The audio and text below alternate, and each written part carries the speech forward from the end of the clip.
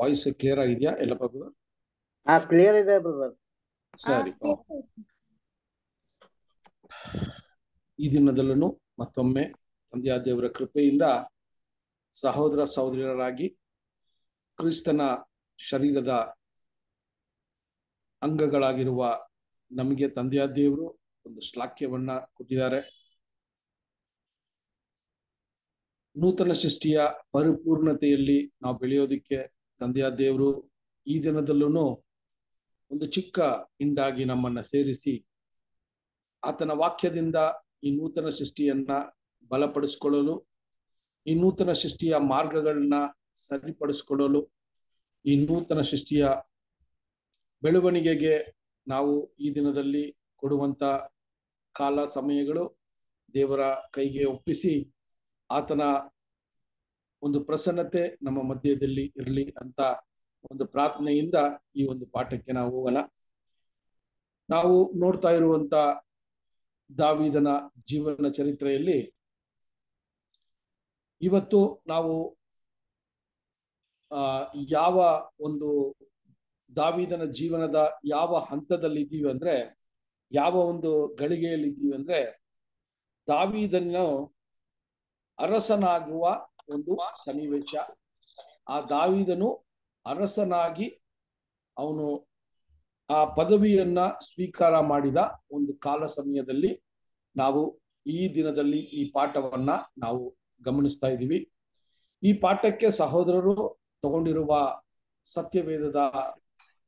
ವೇದ ಭಾಗವನ್ನ ನೀವು ಬರೆದಿಟ್ಕೊಂಡು ಈ ಪಾಠ ಮುಗಿದ ನಂತರ ನೀವು ಇದನ್ನ ಒಂದು ಸರಿ ಓದಿ ನಾವು ಮಾತನಾಡಿದ ಈ ಮಾತುಗಳಲ್ಲಿ ಈ ಒಂದು ಆ ಸತ್ಯವೇದ ವಚನಗಳನ್ನ ನೀವು ನೀವು ಹೋಲಿಕೆ ಮಾಡಿ ನೋಡಿದಾಗ ಅದು ತುಂಬಾ ಪ್ರಯೋಜನವಾಗತ್ತೆ ಎರಡು ಸಾಮವೇಲ ಆರರಿಂದ ಆರನೇ ಅಧ್ಯಾಯ ಒಂದರಿಂದ ಹನ್ನೆರಡು ವಚನಗಳನ್ನ ನಾವು ಈ ಪಾಠದ ನಂತರ ನೀವು ಧ್ಯಾನಿಸಬೇಕು ಅಂತ ಕೇಳ್ಕೊತೀನಿ ಎರಡು ಸಾಮವೇಲ ಆರನೇ ಅಧ್ಯಾಯ ಒಂದರಿಂದ ಹನ್ನೆರಡು ದಾವಿದ ಮಂಜುಷವನ್ನು ನೀವು ಆಮೇಲೆ ಓದ್ರಿ ಯಾಕಂದ್ರೆ ಟೈಮ್ ನಮ್ ಕಡಿಮೆ ಇರೋದ್ರ ನೀವು ಆಮೇಲೆ ಓದ್ರಿ ಈ ಒಂದು ಆ ಸತ್ಯವೇದದ ಭಾಗದಿಂದಾನೇ ಇವತ್ತಿನ ಪಾಠ ನಾವು ನೋಡ್ತಾ ಇದ್ವಿ ಪಾಠದ ಒಂದು ಆ ಹೆಡ್ಡಿಂಗು ಏನು ಅಂತ ನೋಡ್ಬೇಕಾದ್ರೆ ಮಂಜೂಷು ಎರುಸಲೇಮಿಗ ಎರುಸಲೇಮಿಗೆ ತರಲ್ಪಟ್ಟ ಒಂದು ಸನ್ನಿವೇಶ ಮಂಜೂಷು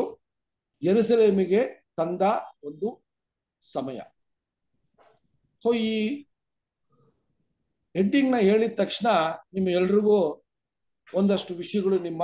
ಜ್ಞಾಪಕಕ್ಕೆ ಬಂದಿರ್ತದೆ ಏನಂತ ನೋಡ್ಬೇಕಾದ್ರೆ ದಾವಿದನು ಅರಸನಾದ ನಂತರ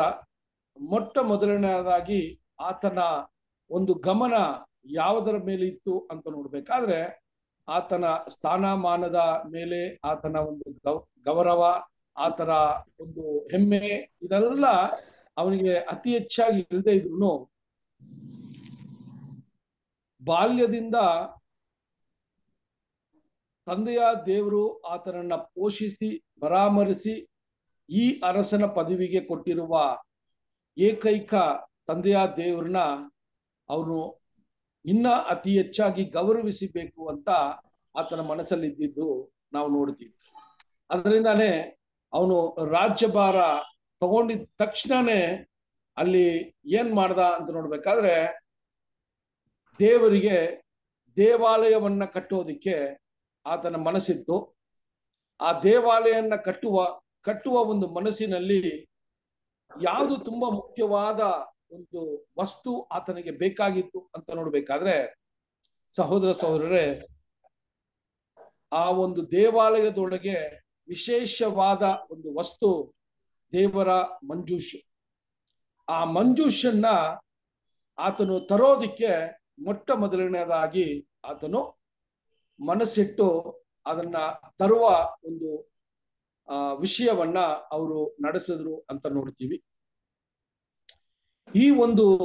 ಘಟನೆಯಲ್ಲಿ ನಾವು ನೋಡುವಂತ ಪಾಠಗಳು ಏನು ಅಂದ್ರೆ ವಿಶೇಷವಾಗಿ ದೇವರಿಗೆ ನಾವು ಕೊಡುವಂತ ನಾವು ತೋರಿಸುವಂತ ಗೌರವ ಪೂಜ್ಯ ಭಾವನೆ ಇದೆಲ್ಲ ಈ ದಿನದ ಪಾಠದ ತುಂಬಾ ಮುಖ್ಯವಾದ ಒಂದು ಸಾರಾಂಶವಾಗಿದೆ ಆ ಪೂಜ್ಯ ಭಾವನೆ ಯಾವ ರೀತಿ ನಮ್ಮಲ್ಲಿದೆ ದೇವ್ರನ್ನ ಯಾವ ರೀತಿ ಗೌರವಿಸಿದ್ದೀವಿ ಅಂತ ನಾವು ನೋಡಬೇಕಾಗಿದೆ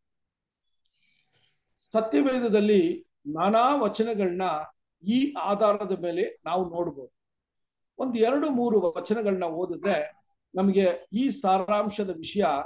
ನಮಗೆ ಸ್ವಲ್ಪ ಅರ್ಥ ಆಗತ್ತೆ ಕೀರ್ತನೆ ನೂರ ಹನ್ನೊಂದು ಒಂಬತ್ತು ಯಾರೋ ಒಬ್ರು ವಾಯ್ಸ್ ಮ್ಯೂಟ್ ಮಾಡಿಲ್ಲ ದಯವಿಟ್ಟು ವಾಯ್ಸ್ ಮ್ಯೂಟ್ ಮಾಡ್ಬೇಕು ಅಂತ ಕೇಳ್ಕೊತೀನಿ ಹಾ ಓಕೆ ರೈ ಸೊ ಸಹೋದರ ಸೌರರೇ ಕೀರ್ತನೆ ನೂರ ಹನ್ನೊಂದು ಒಂಬತ್ತನೇ ವಚನವನ್ನ ಓದೋಣ ಕೀರ್ತನೆ ನೂರ ಹತ್ತೊಂಬತ್ತು ಒಂಬತ್ತು ಯಾರಾದ್ರೂ ಓದ್ತೀರಾ ನೂರ ಹತ್ತೊಂಬತ್ತು ನೂರ ಹನ್ನೊಂದು ಒಂಬತ್ತು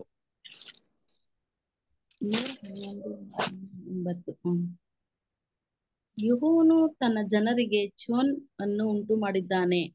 ತನ್ನ ಒಡಂಬಡಿಕೆಯನ್ನು ನಿತ್ಯಕ್ಕೂ ಸ್ಥಾಪಿಸಿದ್ದಾನೆ ಆತನ ನಾಮವು ಪರಿಶುದ್ಧವೂ ಭಯಂಕರವೂ ಆಗಿದೆ ನೋಡ್ರಿ ಆತನ ನಾಮವು ಪರಿಶುದ್ಧವೂ ಭಯಂಕರವೂ ಆಗಿದೆ ಅಂತ ಅಲ್ಲಿ ಅಲ್ಲಿ ಹೇಳೋದನ್ನ ನಾವು ನೋಡ್ತೀವಿ ಆ ಭಯಂಕರ ಅನ್ನೋ ಒಂದು ಪದ ಸರಿಯಾದ ಒಂದು ಅರ್ಥ ಏನು ಅಂದ್ರೆ ಆತನ ನಾಮಕ್ಕೆ ನಾವು ಗೌರವವನ್ನ ಕೊಡುವವ ಕೊಡುವ ಒಂದು ವಿಷಯವಾಗಿ ಅಲ್ಲಿ ಮಾತಾಡೋದನ್ನ ನೋಡ್ತೀವಿ ಕನ್ನಡದಲ್ಲಿ ಭಯಂಕರ ಅಂತ ಆಗ್ತಾರೆ ಇಂಗ್ಲಿಷ್ ಅಲ್ಲಿ ಇದನ್ನ ಆಂಗ್ಲ ಆಂಗ್ಲ ಭಾಷೆಯಲ್ಲಿ ಏನಂತಾರೆ ಅಂದ್ರೆ ರೆವರೆನ್ಸ್ ಅಂತ ಹೇಳ್ತಾರೆ ಸೊ ಈ ಒಂದು ರೆವರೆನ್ಸ್ ಅನ್ನುವ ಒಂದು ಪದ ಸರಿಯಾಗಿ ನಾವು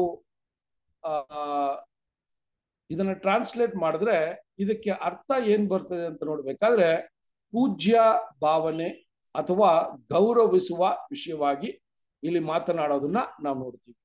ಇನ್ನ ಒಂದು ವಚನ ನೋಡೋಣ ಅದರಲ್ಲಿ ಯಾವ ರೀತಿ ಬರ್ತಿದ್ದಾರೆ ಅಂತ ಕೀರ್ತನೆ ಎಂಬತ್ತೊಂಬತ್ತನೇ ಅಧ್ಯಾಯ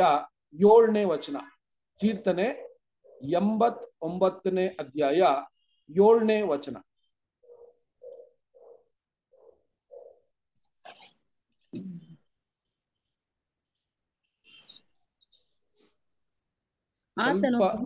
ಸಭೆಯಲ್ಲಿ ಆತನು ಪರಿಶುದ್ಧರ ಸಭೆಯಲ್ಲಿ ಭಯಂಕರನಾದ ದೇವರು ತನ್ನ ನೋಡ್ರಿ ಅಲ್ಲೂ ನೋಡ್ಬೇಕಾದ್ರೆ ಭಯಂಕರವಾದ ದೇವರು ಅಂತ ಕನ್ನಡದಲ್ಲಿ ಅನುವಾದನೆ ಆಗಿರೋದನ್ನ ನೋಡ್ತೀವಿ ಆದ್ರೆ ಆ ಭಯಂಕರ ಅನ್ನುವ ಒಂದು ಪದ ನಮಗೆ ಒಂದಷ್ಟು ಅರ್ಥನ ಕೊಡೋದಿಕ್ಕೆ ಸಾಧ್ಯವಿಲ್ಲ ಅದರಿಂದ ಆ ಭಯಂಕರ ಅಂತ ಹೇಳುವಾಗ ಆತನು ಆತನಿಗೆ ಪೂಜ್ಯ ಸಲ್ಲಿಸುವ ಒಂದು ವಿಷಯ ಮನುಷ್ಯರು ಮಾಡುವಂತದಾಗಿದೆ ಅಥವಾ ಆತನನ್ನ ಗೌರವಿಸೋದು ಎಷ್ಟು ಮುಖ್ಯ ಅಂತ ನಾವು ನೋಡುವಂತರಾಗಿದ್ದೀವಿ ಸಹೋದರ ಸಹೋದರನೆ ಸೊ ಅದರಿಂದ ಆತನಿಗೆ ನಾವು ಕೊಡುವಂತ ಗೌರವ ಭಯ ಭಕ್ತಿ ಎಷ್ಟು ಮುಖ್ಯ ಅನ್ನೋದನ್ನೇ ಆ ಒಂದು ಪದ ಅಲ್ಲಿ ಹೇಳ್ತದೆ ಅಲ್ಲಿ ಭಯಂಕರ ಅಂತ ಹೇಳಿದ ತಕ್ಷಣ ನಾವು ದೇವ್ರನ್ನ ಯಾವ ರೀತಿ ನೋಡಕ್ಕೆ ಪ್ರಯತ್ನ ಮಾಡ್ತೀವಿ ಅಂದ್ರೆ ನಮ್ಮನ್ನ ನಾಶ ಮಾಡುವ ದೇವರು ನಮ್ಮನ್ನ ಒಂದು ಏನಂತ ಹೇಳ್ಬೇಕಾದ್ರೆ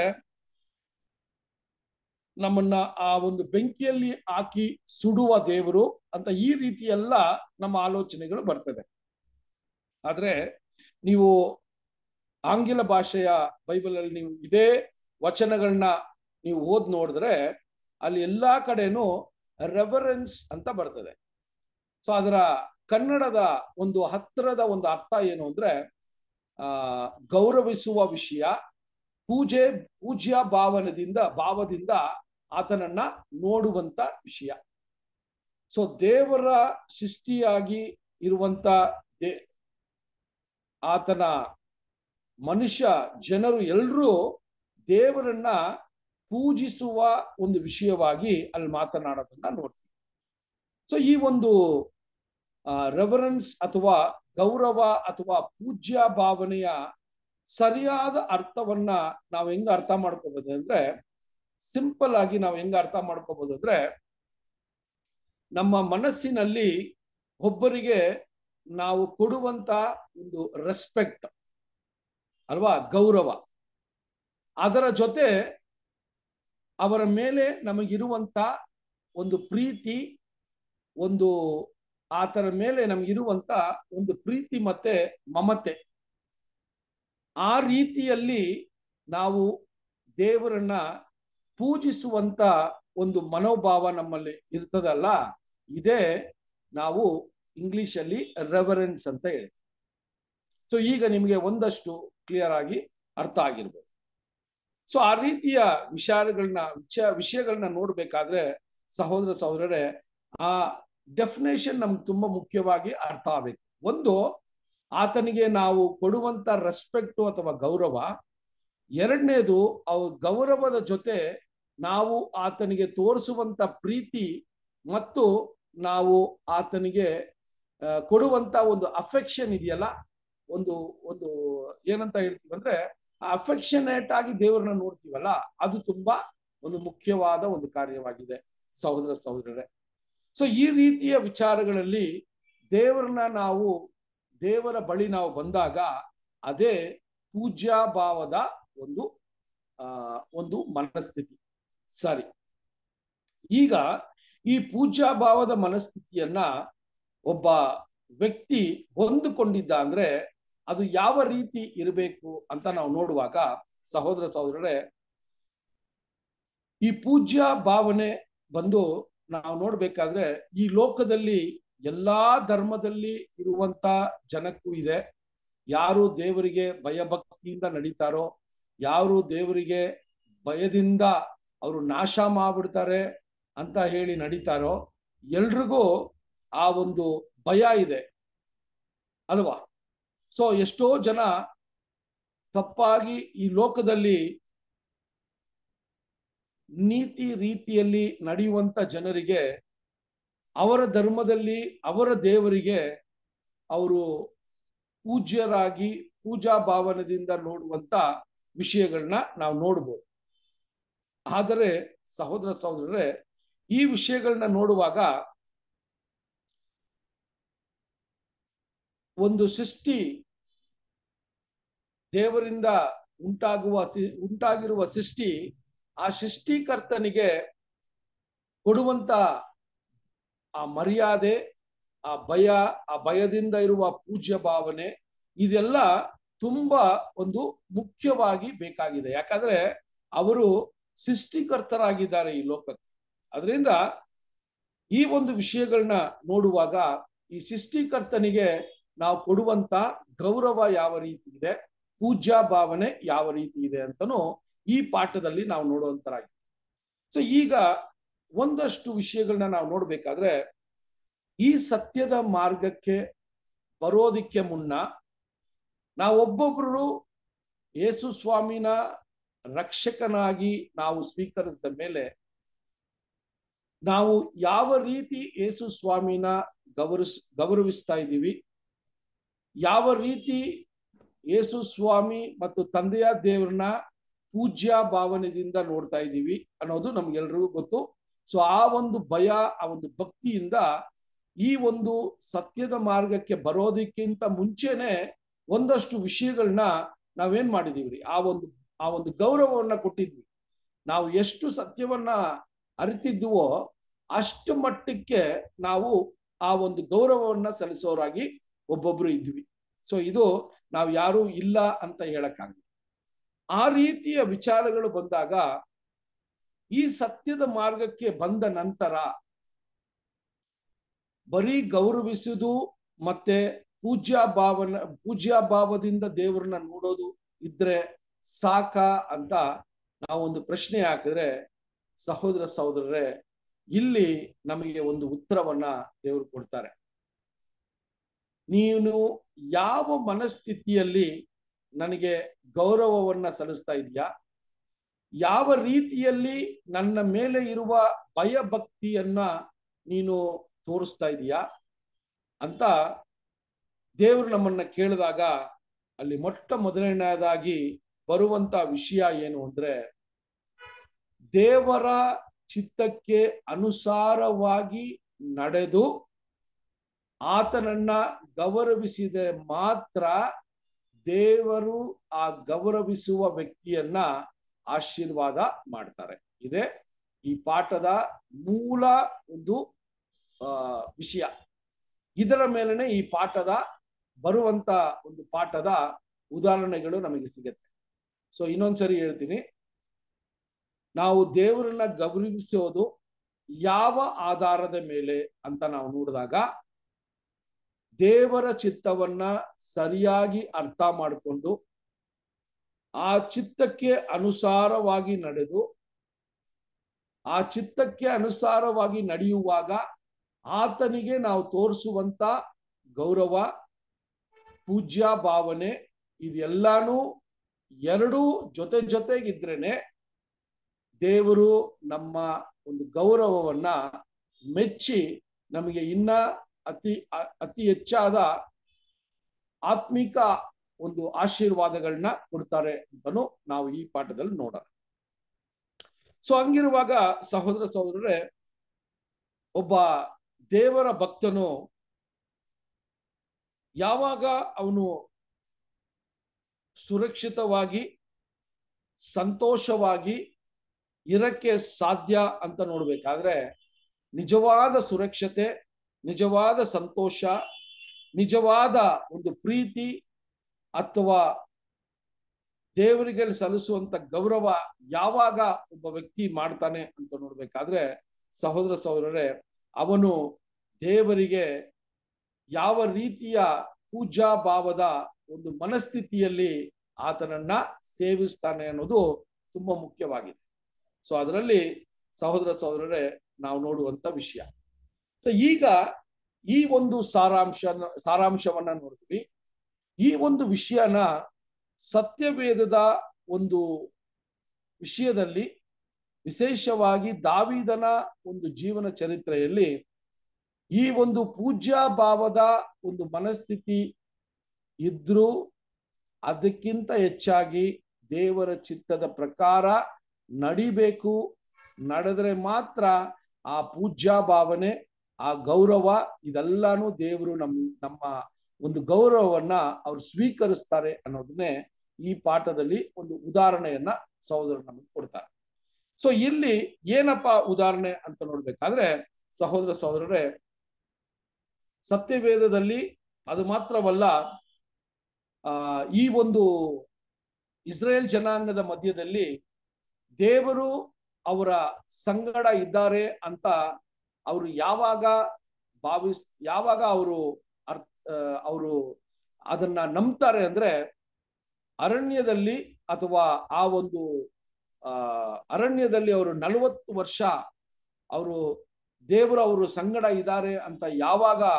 ಅವ್ರು ಸ್ಪಷ್ಟಪಡಿಸ್ಕೋತಾರೆ ಅಂದ್ರೆ ಆ ದೇವದರ್ಶನ ಗೂಡಾರದಲ್ಲಿ ದೇವರ ಮಂಜುಷು ಇದ್ದಾಗ ದೇವರು ಅವರ ಜೊತೆ ಇದ್ದಾರೆ ಅಂತ ಅವ್ರಿಗೆ ಒಂದು ದೊಡ್ಡ ಆಶ್ವಾಸನೆ ಮತ್ತೆ ಅವರಿಗೆ ಒಂದು ನಂಬಿಕೆ ಇತ್ತು ಅಂತ ನೋಡ್ತೀವಿ ಸೊ ಆ ರೀತಿಯ ವಿಚಾರಗಳನ್ನ ನೋಡ್ಬೇಕಾದ್ರೆ ಆ ಮಂಜೂಷಿನ ವಿಷಯವನ್ನ ನೀವು ಆಗ್ಲೇ ಆ ಒಂದು ದೇವದರ್ಶನ ಗೂಡಾರದ ಪಾಠದಲ್ಲಿ ಕೇಳಿರ್ತೀರಾ ಆ ಮಂಜೂಷಿನ ವಿವರಗಳು ನಿಮ್ಗೆ ಸಹೋದರರು ಹೇಳ್ಕೊಟ್ಟಿರ್ತಾರೆ ಆ ಮಂಜೂಷನ ವಿಶೇಷತೆ ಏನು ಅದರೊಳಗೆ ಏನೆಲ್ಲ ಇತ್ತು ಅದರ ಅದರ ಒಂದು ವಿಶೇಷವಾದ ಒಂದು ವಿಷಯ ಏನು ಅದರ ಮುಚ್ಚಿಲ್ಲದ ಮೇಲೆ ಏನಿತ್ತು ಅದು ಯಾವ ಒಂದು ವಸ್ತು ಯಾವ ಒಂದು ಮೆಟೀರಿಯಲ್ ಇಂದ ಅದನ್ನ ಮಾಡಿದ್ರು ಯಾ ಎಷ್ಟು ಅದ ಅದನ್ನ ಪರಾಮರಿಸಿದ್ರು ಯಾರದನ್ನ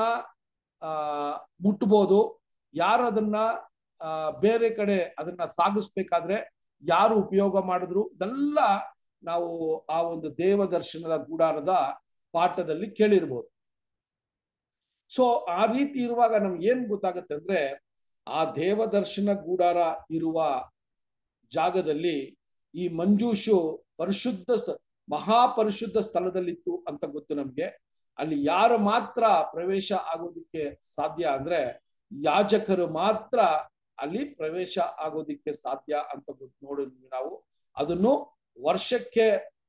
ಅಲ್ಲಿ ಆ ಯಾವಾಗ ಆ ಮಹಾಯಾಜಕನು ಮಾತ್ರನೇ ವರ್ಷಕ್ಕೆ ಎರಡು ಸರಿ ಆ ಮಂಜೂಷಿರುವ ಆ ಮಹಾಪರಿಶುದ್ಧ ಸ್ಥಳಕ್ಕೆ ಹೋಗೋದಿಕ್ಕೆ ಅನುಮತಿ ಇತ್ತು ಅಂತ ನೋಡ್ತೀವಿ ಅದನ್ನ ಬಿಟ್ಟು ಬೇರೆ ಯಾರೂ ಅದನ್ನ ಆ ಅದನ್ನ ನೋಡೋದಕ್ಕೂ ಆ ಅದನ್ನ ಮುಟ್ಟೋದಕ್ಕೂ ಅಲ್ಲಿ ದೇವರು ಅನುಮತಿ ಮಾಡಿಲ್ಲ ಅಂತ ನೋಡ್ತೀವಿ ಸಹೋದರ ಸಹೋದರರೇ ಸೊ ಆ ರೀತಿಯ ವಿಚಾರಗಳನ್ನ ನೋಡ್ಬೇಕಾದ್ರೆ ಈ ಒಂದು ವಿಷಯಗಳನ್ನ ನಾವು ನೋಡ್ಬೇಕಾದ್ರೆ ಸಹೋದರ ಸಹೋದರೇ ಈ ಒಂದು ಕಾಲ ಸಮಯದಲ್ಲೂ ದೇವರ ಯಾಜಕರಾಗಿ ದೇವರ ಆತ್ಮೀಕ ಮಂಜೂಷನ್ನ ಆ ಮಂಜು ದೇವರ ಪ್ರಸನ್ನತೆಯನ್ನ ಅರ್ಥ ಮಾಡಿಕೊಳ್ಳುವ ಜನ ಯಾರು ಅಂದ್ರೆ ಈಗ ಯಾಜಕರಾಗಿ ಅವರು ಅವರ ಜೀವನವನ್ನ ಸಜೀವ ಯಜ್ಞವಾಗಿ ಕೊಡ್ತಾ ಇರುವಂತ ಯಾಜಕರಿಗೆ ಇದನ್ನ ತಂದೆಯ ದೇವರು ದಯಪಾಲಿಸಿದ್ದಾರೆ ಅಂತ ನೋಡ್ತೀವಿ ಈ ಯಾಜಕರು ಮಾತ್ರನೇ ಇದನ್ನ ಇದನ್ನ ಮುಟ್ಬೋದು ಅದರ ಹತ್ರ ಹೋಗ್ಬೋದು ಅಂತ ಹೇಳೋದಕ್ಕೆ ವಚನ ಬರ್ಕೊಳ್ಳಿ ನೀವು ಅದಾದ್ಮೇಲೆ ಈ ವಚನವನ್ನ ಓದ್ರಿ ಆ ಅರಣ್ಯಕಾಂಡ ನಾಲ್ಕನೇ ಅಧ್ಯಾಯ ಹದಿನೈದರಿಂದ ಇಪ್ಪತ್ತು ವಚನಗಳನ್ನ ಬರ್ಕೊಳ್ಳಿ numbers fourth chapter fifteen to twenty so ಈ ಒಂದು ವಚನಗಳಲ್ಲಿ ಈ ಯಾಜಕರು ಅದನ್ನ ಮುಟ್ಟಿ ಅದನ್ನ ಸಾಗಿಸೋದಿಕ್ಕೆ ಆ ಯಾಜಕರಲ್ಲಿ ಯಾರಿಗೆ ಒಂದು ಅರ್ಹತೆ ಇತ್ತು ಅಂತಲೂ ನಮ್ಗೆ ಗೊತ್ತಿದೆ ಸಹೋದರ ಸಹೋದರರೇ ಸೊ ಹಂಗಿರುವಾಗ ಈಗ ನಾವು ಏನ್ ನೋಡ್ಬೇಕು ಅಂದ್ರೆ ಈ ಒಂದು ವಿಷಯದಲ್ಲಿ ಈ ಮಂಜೂಷು ಯಾವ ರೀತಿಯ ಒಂದು ವಿಶೇಷತೆಯನ್ನ ಪಡ್ಕೊಂಡಿತ್ತು ಆ ಮಂಜೂಷು ಎಷ್ಟು ಒಂದು ಆ ಇಸ್ರೇಲ್ ಜನಾಂಗಕ್ಕೆ ಆ ಮಂಜೂಷು ಯಾವ ರೀತಿ ಅವರು ಯುದ್ಧಗಳಿಗೆ ಹೋದಾಗ ಜಯ ಜಯವನ್ನ ಕೊಡ್ತು ಅಂತನೂ ನಾವು ನೋಡ್ಬೋದು ಹಂಗಿರುವಾಗ ಸಹೋದರ ಸಹೋದರರೇ ಈ ಜಯವನ್ನ ಕೊಡುವ ವಿಷಯಗಳನ್ನ ಒಂದೆರಡು ಉದಾಹರಣೆ ತಗೊಂಡ್ರೆ ಒಂದು ನಾವು ನೋಡ್ತೀವಿ ಯಾವ ರೀತಿ ಈ ಮಂಜೂಷನ್ನ ತಗೊಂಡು ಆ ಯೋರ್ದಾನ್ ನದಿ ಆ ಜೋರ್ಡಾನ್ ನದಿ ಹತ್ರ ಹೋದಾಗ ಆ ಒಂದು ನದಿ ಯಾವ ರೀತಿ ಅದು ಓಪನ್ ಆಗಿ ಆ ಆ ಒಂದು ಏನ್ರಿ ಆ ಒಂದು ನದಿಯ ಮಧ್ಯದಲ್ಲಿ ಇಸ್ರೇಲ್ ಜನರು ನಡೆದು ಜರಿಗೋ ಪಟ್ಟಣಕ್ಕೆ ಹೋದ್ರು ಅಂತ ನಾವು ನೋಡ್ತೀವಿ ಅದೇ ರೀತಿ ಮಂಜುಷನ್ನ ತಗೊಂಡು ಆ ಒಂದು ಎರಿಕೋ ಪಟ್ಟಣವನ್ನ ಸುತ್ತು ಬಂದಾಗ ಒಂದು ಸಮಯದಲ್ಲಿ ಆ ಮಂಜುಷು ಮುಂದೆ ಇಟ್ಟು ಇಸ್ರೇಲ್ ಜನರು ಅದರ ಹಿಂದೆ ಹೋಗಿ ದೇವರು ಹೇಳಿರುವ ಪ್ರಕಾರ ನಡೆದಾಗ ಆ ಒಂದು ಎರಿಕೋ ಆ ಒಂದು ಪಟ್ಟಣದ ಆ ಒಂದು ಗೋಡೆಗಳೆಲ್ಲ ಬಿದ್ದಿರೋ ವಿಷಯಗಳನ್ನ ನೋಡ್ತೀವಿ ಸೊ ಇದೆಲ್ಲಾನು ನೋಡಿದಾಗ ಆ ಮಂಜೂಷಿನ ಒಂದು ಪ್ರಭಾವ ಹೆಂಗಿತ್ತು ಅಂತ ನೋಡ್ತೀವಿ ಅದು ಮಾತ್ರವಲ್ಲ ದೇವರ ಒಂದು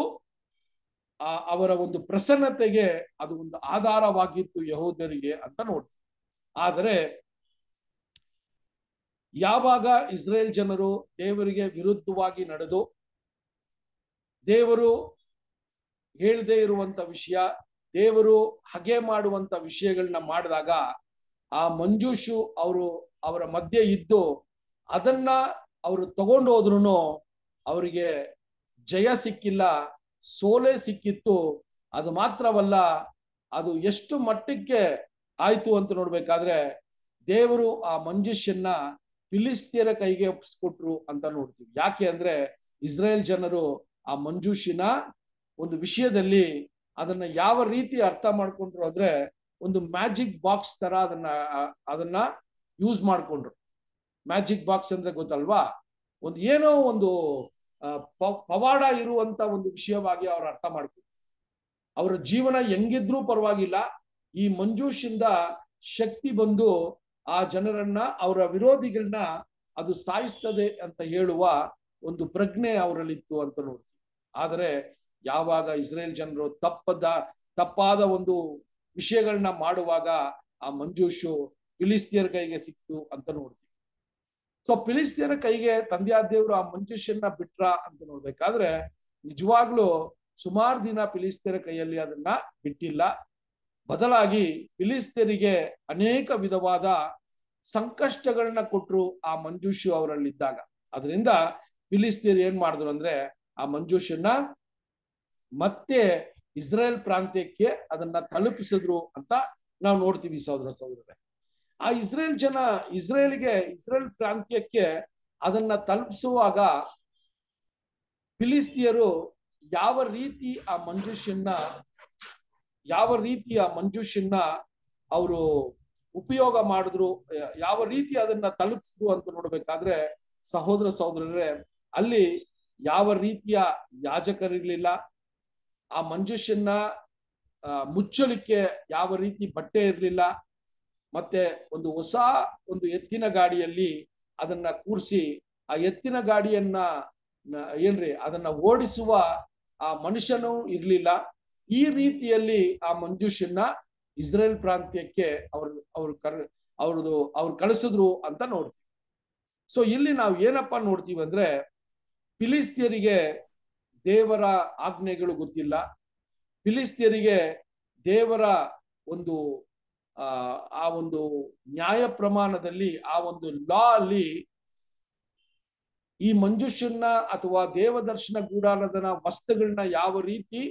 ಅದನ್ನ ಹ್ಯಾಂಡಲ್ ಮಾಡಬೇಕು ಯಾರು ಯಾವ್ದನ್ನ ಮುಟ್ಟಬೇಕು ಯಾರು ಯಾವ್ದನ್ನ ತಗೊಂಡೋಗ್ಬೇಕು ಅಂತ ಅವ್ರಿಗೆ ಆಜ್ಞೆಗಳು ಗೊತ್ತಿಲ್ಲ ಅದರಿಂದ ಅವರು ಅವರಿಗೆ ಮನಸ್ಸಿಗೆ ಬಂದಂಗೆ ಆ ಒಂದು ಮಂಜುಷನ್ನ ಇಸ್ರೇಲ್ ಪ್ರಾಂತ್ಯಕ್ಕೆ ಕಳಿಸಿದ್ರು ಅಂತ ನೋಡ್ತೀವಿ ಆ ಪ್ರಾಂತ್ಯಕ್ಕೆ ಬಂದಾಗ ಸಹೋದರ ಸಹೋದರರೇ ಅಲ್ಲಿ ನಾವೇನಪ್ಪ ನೋಡ್ತೀವಿ ಅಂದ್ರೆ ಅಲ್ಲೂ ಅದು ಇಸ್ರೇಲ್ ಬಾರ್ಡರ್ ಅಲ್ಲಿ ಒಂದು ಪ್ರಾಂತ್ಯಕ್ಕೆ ಬಂತು ಯಾವುದು ಅಂತ ನೋಡ್ಬೇಕಾದ್ರೆ ಬೆಚ್ಚಮೇಶ್ ಅನ್ನುವ ಒಂದು ಜಾಗಕ್ಕೆ ಅದು ಬಂತು ಅದು ಇಸ್ರೇಲ್ ಪ್ರಾಂತ್ಯದಲ್ಲಿ ಇರುವಂತ ಜಾಗ ಅಲ್ಲಿ ಬಂದಾಗ ಇಸ್ರೇಲ್ ಜನಾಂಗದಲ್ಲಿ ಒಂದಷ್ಟು ಜನ ಆ ದೇವರ ಆಜ್ಞೆಗಳ ವಿರುದ್ಧವಾಗಿ ಆ ಮಂಜುಷನ್ನ ಮುಟ್ಟಿ ಅದನ್ನ ಇಣುಕು ನೋಡಿದಾಗ ನೋಡಿದಾಗ ಸಹೋದರ ಸಹೋದರರೇ ಐವತ್ತು ಸಾವಿರ ಜನ ಅಲ್ಲಿ ಸಾಯೋದನ್ನ ನಾವು ನೋಡ್ತೀವಿ ಸತ್ಯವೇದದಲ್ಲಿ ಈ ಒಂದು ವಿಷಯವನ್ನ ಅವರು ರೆಕಾರ್ಡ್ ಮಾಡಿರುವಾಗ ಐವತ್ತು ಸಾವಿರದ ಎಪ್ಪತ್ ಐವತ್ ಸಾವಿರದ ಎಪ್ಪತ್ತು ಜನ ಅಲ್ಲಿ ಸತ್ರು ಅಂತ ನಾವು ನೋಡ್ತೀವಿ ಸಹೋದರ ಸಹೋದರ ಆ ಒಂದು ಘಟನೆ ನಡೆದಿದ ತಕ್ಷಣ ಅಲ್ಲಿ ಯಹೂದಿಯರಿಗೆ ಭಯ ಅಲ್ಲಿ ಶುರುವಾಯಿತು ಏನ್ ಭಯ ಅಂದ್ರೆ ಈ ಮಂಜೂಷು ನಮಗೆ ಎಷ್ಟು ಒಳ್ಳೇದನ್ನ ಮಾಡುತ್ತೋ ಅಥವಾ ದೇವರ ಪ್ರಸನ್ನತೆಯನ್ನ ತೋರಿಸುತ್ತೋ ಅದೇ ಮಂಜುಷು ನಮ್ಮಲ್ಲಿರುವ ಜನರನ್ನ ಸಾಯಿಸ್ತಲ್ಲ ಅಂತ ಹೇಳುವ ಒಂದು ಭಯ ಅವರಲ್ಲಿತ್ತು ಅಂತ ನೋಡ್ತೀವಿ ಸಹೋದರ ಸಹೋದರರೇ ಸೊ ಹಂಗಿರುವಾಗಲೇ ನಾವು ಇದೆಲ್ಲ ನೀವು ವಚನಗಳನ್ನ ನೀವು ಬರೆದಿಟ್ಕೊಂಡು ಈ ವಚನಗಳನ್ನ ಓದಿ ಯಾಕಂದ್ರೆ ನಾವು ಹಿಂಗೇ ಒಂದು ಆ ಒಂದು ಸೀರಿ ಏನ್ರಿ ಆ ಒಂದು ಕತೆ ಹೇಳ್ದಂಗೆ ಹಂಗೆ ನಿಧಾನಕ್ಕೆ ಹೇಳ್ಕೊಂಡು ಹೋಗ್ತಾ ಇದೀವಿ ಆದ್ರೆ ಇದ್ರ ವಚನಗಳನ್ನೆಲ್ಲ ಓದುವಾಗ ನಿಮ್ಗೆ ಇನ್ನ ಒಂದು ಆ ಅರ್ಥ ಆಗುವ ಒಂದು ಪರಿಸ್ಥಿತಿಗಳು ಜಾಸ್ತಿ ಇರ್ತದೆ ಸೊ ಒಂದು ಸಾಮವೇಲ ಆರನೇ ಅಧ್ಯಾಯ ಒಂದರಿಂದ ಇಪ್ಪತ್ತೊಂದು ಬರೆದಿಟ್ಕೊಳ್ಳಿ ಒಂದು ಸಾಮುವೇಲ ಆರನೇ ಅಧ್ಯಾಯ ಒಂದರಿಂದ ಇಪ್ಪತ್ತೊಂದು ಬರೆದಿಟ್ಕೊಳ್ಳಿ ಸೊ ಇಲ್ಲಿ ಈ ಘಟನೆಗಳ ಬಗ್ಗೆ ಅಲ್ಲಿ ಬರೆಯಲ್ಪಟ್ಟಿದೆ ಈಗ ನಾವು ನೋಡ್ದಂಗೆ ಈ ಒಂದು ಮಂಜುಷು ಆ ಬೆಚ್ಚೆಮೇರ್ ಅನ್ನುವ ಜಾಗದಲ್ಲಿ ಬಂದಾಗ ಅಲ್ಲಿ ಯಹೂದ್ಯರು ಅದನ್ನ ಮುಟ್ಟಿದ್ರು ಇಣಿಕಿ ನೋಡಿದಾಗ ಅಲ್ಲಿ ಸಾವನ್ನಪ್ಪಿದ್ರು ಅಂತ ನೋಡ್ತೀವಿ ಹಂಗಿರುವಾಗ ಸಹೋದರ ಸಹೋದರರೇ ಅಲ್ಲಿ ಏನಾಯ್ತು ಅಂತ ನೋಡ್ಬೇಕಾದ್ರೆ ಅದನ್ನ ಯಾರು ಮತ್ತೆ ಅದರ ಮುಂದೆ ನಿಂತಾರೋ ಅಂತ ಹೇಳಿ ಜನರಿಗೆ ಒಂದು ಭಯ ಆಗಿದ್ದನ್ನ ನಾವು ನೋಡ್ತೀವಿ ಒಂದು ವಚನವನ್ನ ಓದೋಣ ಒಂದು ಸಾಮುವೇಲ ಏಳನೇ ಅಧ್ಯಾಯ ಒಂದು ಎರಡು ವಚನಗಳು ಒಂದು ಸಾಮುವೇಲ ಆರನೇ ಅಧ್ಯಾಯ ಸಾರಿ ಏಳನೇ ಅಧ್ಯಾಯ ಒಂದು ಮತ್ತು ಎರಡು ವಚನಗಳನ್ನ ಓದೋಣ ಯಹೋವನ ಅನುಗ್ರಹದಿಂದ ಸುತ್ತಣ ವೈರಿಗಳ ಭಯವೆಲ್ಲ ತಪ್ಪಿ ಹೋಗಿ ಅರಸನು ಅರಮನೆಯಲ್ಲಿ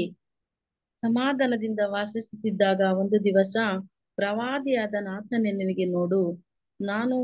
ದೇವದಾರದ ಮನೆಯಲ್ಲಿ ವಾಸವಾಗಿದ್ದೇನೆ ದೇವರ ಮಂಜುಸವಾದರೂ ಬಟ್ಟೆಯ ಮನೆಯಲ್ಲಿ ಇರುತ್ತದೆ ಎಂದು ಹೇಳಿದ್ದನು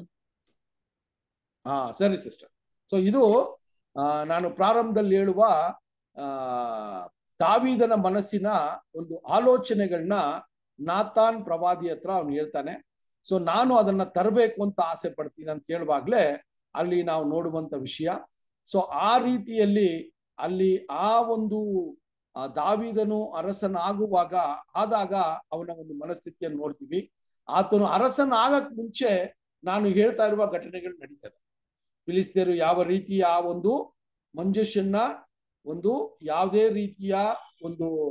ಆ ಏನ್ ಏನಂತ ನೋಡ್ಬೇಕಾದ್ರೆ ಆ ಒಂದು ಆ ಒಂದು ದೇವರ ಒಂದು ನ್ಯಾಯ ಪ್ರಮಾಣ ಅಥವಾ ದೇವರ ಒಂದು ಆಜ್ಞೆಯ ಪ್ರಕಾರ ಅದನ್ನ ನಡೆಸಿದೆ ಯಾ ಅವ್ರಿಗೆ ಮನಸ್ಸಿಗೆ ಬಂದ ರೀತಿಯಲ್ಲಿ ಅದನ್ನ ಮುಟ್ಟಿದ್ರು ಮನಸ್ಸಿಗೆ ಬಂದ ರೀತಿಯಲ್ಲಿ ಎತ್ತಿನ ಗಾಡಿಯಲ್ಲಿ ಅದನ್ನ ಹಾಕಿ ಕಳಿಸಿದ್ರು ಅಂತ ನೋಡ್ತೀವಿ ಆದರೆ ಇಸ್ರೇಲ್ ಜನಾಂಗದ ಪ್ರಾಂತ್ಯಕ್ಕೆ ಬಂದಾಗ ಅವರು ಫಿಲಿಸ್ತೀಯರ ರೀತಿಯಲ್ಲಿ ದೇವರ ಆಜ್ಞೆಗಳನ್ನ ಮರೆತು ಅದನ್ನ ಅದರೊಳಗೆ ಏನು ಅಂತ ಇಣುಕಿ ನೋಡುವಾಗ ಐವತ್ ಐವತ್ ಸಾವಿರ ಜನ ಸತ್ತಿದ್ದನ್ನ ನೋಡಿದಾಗ ಸಹೋದರ ಸಹೋದರರೇ ಅಲ್ಲಿ ಏನ್ ಮಾಡ್ಬಿಟ್ರು ಅಂದ್ರೆ ಅಲ್ಲಿ ಸತ್ತ ನಂತರ ಅವ್ರು ಏನ್ ಮಾಡಿದ್ರು ಅಂದ್ರೆ ಅಲ್ಲಿ ಪಕ್ಕದಲ್ಲಿರುವ ಊರು ಕಿರಿಯಾತ್ ಜಾತ್ ಜರೀಮ್ ಅಂತ ಒಂದು ಒಂದು ಊರು ಕಿರಿಯಾತ್ ಜಾತ್ ಜಮೀನ್ ಅಂತ ಒಂದು ಊರು ಈ ಊರಿಗೆ ಆ ಊರಿನ ಜನರನ್ನ ಕರೆದು ಆ ಊರಿನ ಜನರು ಅದನ್ನ ತಗೋಬಂದು ಆ ಮಂಜುಷನ್ನ ಅಭಿಜ್ಞಾಪ್ ಅನ್ನುವ ಒಬ್ಬ ವ್ಯಕ್ತಿಯ ಮನೆಯಲ್ಲಿ ಅದನ್ನ ಇರಿಸ್ಕೊಂಡ್ರು ಆ ಮನೆಯ ಅಂಗಳದಲ್ಲಿ ಅದನ್ನ ಇರಿಸ್ಕೊಂಡ್ರು ಆ ಒಂದು ಅಭಿಜ್ಞಾಪ್ ಮಗನಾದ ಎಲಿಸರ್ ಅನ್ನುವ ಒಬ್ಬ ವ್ಯಕ್ತಿನ ಅದನ್ನ ನೋಡ್ಕೊಳ್ಳಕ್ಕೆ ಅದನ್ನ ಪರಾಮರ್ಶಕ್ಕೆ ಅವ್ರಿಗೆ ನೇಮಕ ಮಾಡಿದ್ರು ಅಂತ ನೋಡ್ತೀವಿ ಆ ಒಂದು ಸಮಯದಲ್ಲಿ ಆ ಒಂದು ಮಂಜೂಷು ಅಭಿಜ್ಞಾ ಮನೆಯಲ್ಲಿ ಇಪ್ಪತ್ತು ವರ್ಷ ಕಾಲ ಅಲ್ಲೇ ಇತ್ತು ಎಲ್ಲಾ ಜನ ಅದರ ಬಗ್ಗೆ ಮರ್ತೋಗಿದ್ವು ಅಂತ ನೋಡ್ತೀವಿ ಈಗ ಈ ಸಮಯದಲ್ಲೇ ದಾವಿದನು ಅಲ್ಲಿ ರಾಜಭಾರ ಮಾಡೋದಿಕ್ಕೆ ಪ್ರಾರಂಭ ಮಾಡ್ದ ಅದೇ ನಾವು ಓದ್ವಿ ಆವಾಗ ಏನಾಯ್ತು ಅಂದ್ರೆ ಆ ಅಭಿಜ್ಞಾ ಮನೆಯಲ್ಲಿ ಇದ್ದ ಮಂಜೂಷನ್ನ ಈಗ ಎರುಸಲೇಮಿಗೆ ತರೋದಿಕ್ಕೆ ಅವನ ಒಂದು ಆಸಕ್ತಿ ಇತ್ತು ಅದನ್ನ ತರೋದಿಕ್ಕೆ ಅವನು ಆ ಪ್ಲಾನ್ ಮಾಡ್ದ ಅಂತ ನೋಡ್ತೀವಿ ಇಲ್ಲಿ ನಮಗೆ ಇರುವಂತ ಪಾಠ ಏನು ಅಂತ ನೋಡ್ಬೇಕಾದ್ರೆ ಸಹೋದರ ಸಹೋದರರೇ ಈ ಲೋಕದಲ್ಲಿ ನಾನಾ ಒಂದು ಜಾತಿ ಅಥವಾ ನಾನಾ ರೀತಿಯ ಒಂದು ವಿಶ್ವಾಸಗಳು ನಂಬಿಕೆಗಳು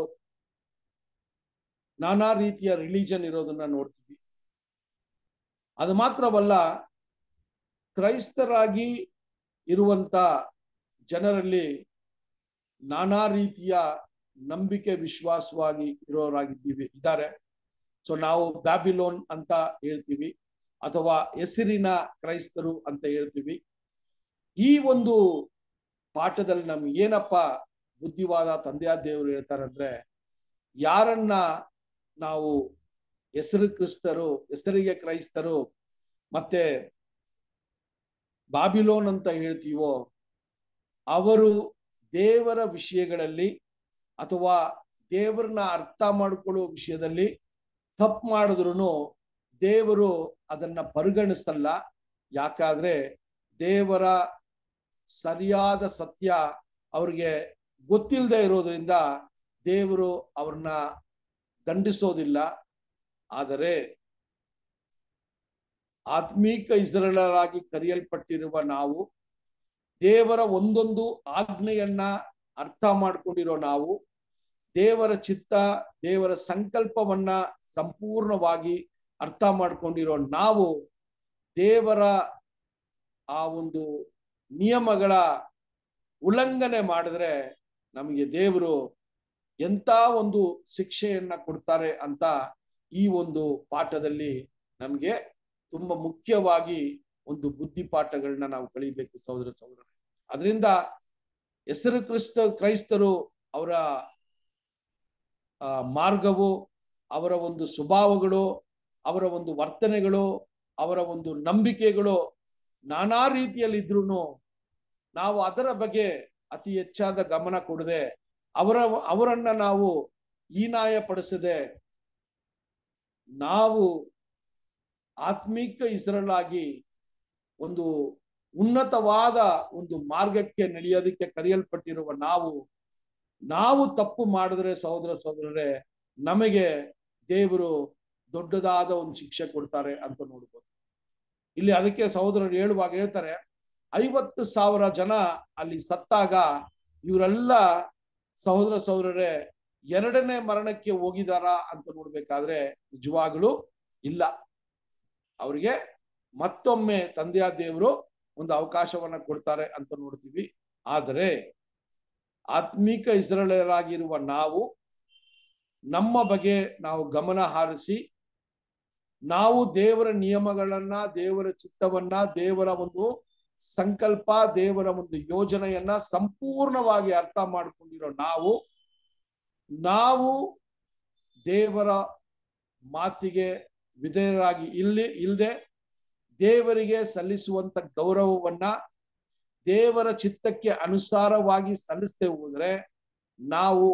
ಎರಡನೇ ಮರಣಕ್ಕೆ ನಮ್ಮನ್ನ ತಂದೆಯ ದೇವರು ಒಪ್ಪಿಸ್ತಾರೆ ಅಂತನೂ ನಾವು ಭಯ ಇರಬೇಕು ಸಹೋದರ ಸಹೋದರರೇ ಸೊ ಈ ಒಂದು ಪಾಠವನ್ನ ಮನಸ್ಸಲ್ಲಿ ಇಟ್ಕೊಳ್ಳೋಣ ನೆಕ್ಸ್ಟ್ ನಾವೇನ್ ಮಾಡೋಣ ಅಂದ್ರೆ ಸಹೋದರ ಸಹೋದರರೇ ಈಗ ಏನಾಯ್ತು ಅಂತ ನೋಡ್ಬೇಕಾದ್ರೆ ಆ ದಾವಿದನು ಆತನ ಮನಸ್ಸಿನ ಒಂದು ಆಲೋಚನೆ ಬಂತು ನಾನು ಆ ಅರಮನೆಯಲ್ಲಿದ್ದು ಸುಖಭೋಗವಾಗಿದ್ದೀನಿ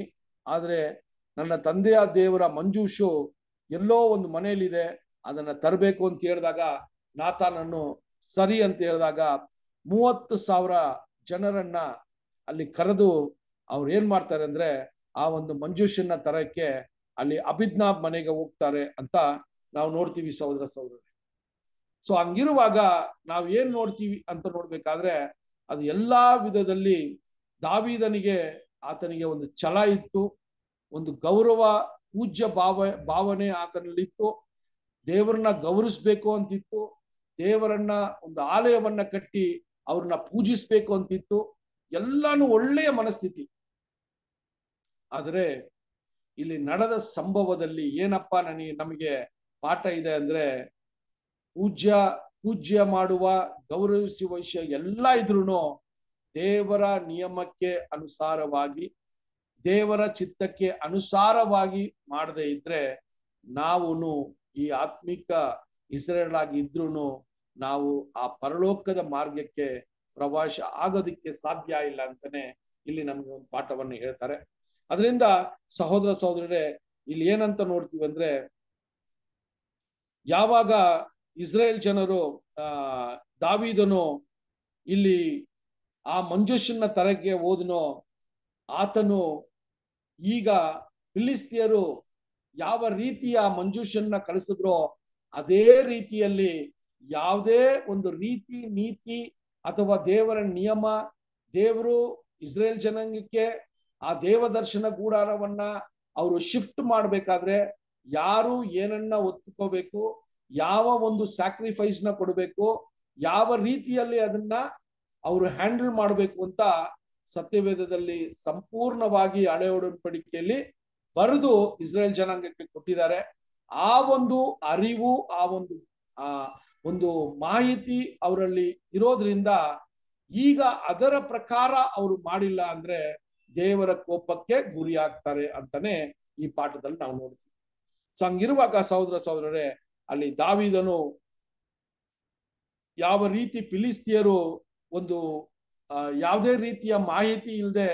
ಯಾವುದೇ ರೀತಿಯ ಒಂದು ಅರಿವಿಲ್ಲದೆ ಅವರು ಮಾಡಿದ ತಪ್ಪನ್ನ ತಂದೆಯ ದೇವರು ಅಷ್ಟು ಪರಿಗಣಿಸಿಲ್ಲ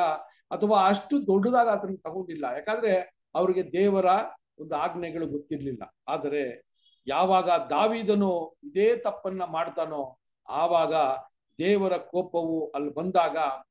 ಅಲ್ಲಿ ನಾವು ನೋಡ್ತೀವಿ ಪೂಜಾ ಅನ್ನುವ ಒಬ್ಬ ವ್ಯಕ್ತಿಯನ್ನ ದೇವರು ಅಲ್ಲಿ ಸಾಯಿಸ್ತಾರೆ ಅಂತ ನೋಡ್ತೀವಿ ಯಾಕಂದ್ರೆ ಆ ಮಂಜುಷನ್ನ ಬೀಳೋ ಮಂಜುಷನ್ನ ಹಿಡ್ಕೊಳಕ್ಕೆ ಹೋದಾಗ ಅವನನ್ನ ತಂದೆಯ ದೇವರು ಸಾಯಿಸ್ತಾರೆ ಅಂತ ಹೇಳುವಾಗ ಇದರಲ್ಲಿ ಏನು ಒಂದು ವಿಷಯ ಅಂದ್ರೆ ಆ ದೇವರ ಆಜ್ಞೆಗಳನ್ನ ಅವರು ಪರಾಮರಿಸಿಲ್ಲ ಅಥವಾ ಅದರ ಮೇಲೆ ಗಮನ ಕೊಟ್ಟಿಲ್ಲ ಅಥವಾ ದೇವರ ಒಂದು ನಿಯಮವನ್ನ ಉಲ್ಲಂಘನೆ ಮಾಡಿದ್ರು ಅನ್ನೋದನ್ನೇ ಈ ಪಾಠದಲ್ಲಿ ನಾವು ನೋಡುವಂತದ್ದಾಗಿದೆ ಸೊ ಆ ಒಂದು ಘಟನೆ ನಡೆದಾಗ ದಾವಿದನಿಗೆ ತುಂಬಾ ಭಯ ಆಗಿ ದಾವಿದನ್ ಏನ್ ಮಾಡ್ತಾನೆ ಅಂತ ನೋಡ್ಬೇಕಾದ್ರೆ ಅಲ್ಲಿ ಹತ್ರ ಇರುವ ಓಬೇದ್ ಏದೋಮ್ ಎನ್ನುವ ಒಬ್ಬ ವ್ಯಕ್ತಿಯ ಮನೆಯಲ್ಲಿ ಅದನ್ನ ಮಂಜುಷನ್ನ ಇಟ್ಟುಬಿಟ್ಟು ಅವನು ಸೀದಾ ಬಂದು ಬಂದ್ಬಿಡ್ತಾರೆ ಬಂದ್ಬಿಟ್ಟು ಸಹೋದರ ಸಹೋದರರೇ ಅಲ್ಲಿ ಏನಾಗತ್ತೆ ಅಂದ್ರೆ ಮೂರು ತಿಂಗಳ ನಂತರ ದಾವಿದನಿಗೆ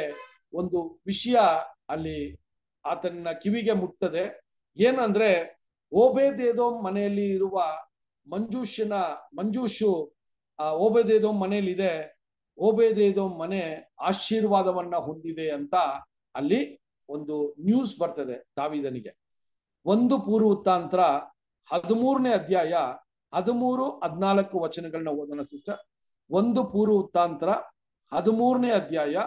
ಹದಿಮೂರು ಹದಿನಾಲ್ಕು ವಚನಗಳು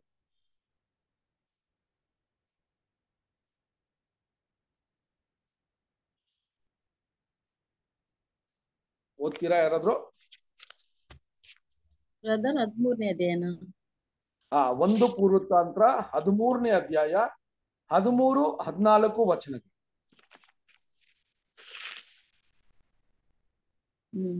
ನೀವು ಹೇಳಿದ ಸಂಗತಿಯನ್ನು ಚೆನ್ನಾಗಿ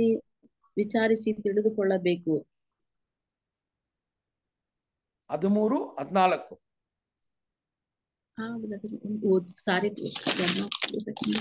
ಒಂದು ಪೂರ್ವತಾಂತ್ರ ಹದಿಮೂರನೇ ಅಧ್ಯಾಯ ಹದಿಮೂರು ಹದಿನಾಲ್ಕು ವಚನಗಳು